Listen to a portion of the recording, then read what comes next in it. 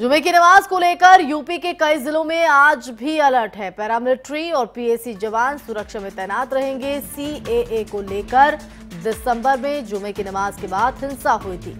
तो गोरखपुर, आगरा, सहारनपुर समेत यूपी के कई जिलों में अलर्ट है और अलर्ट की तस्वीरें भी।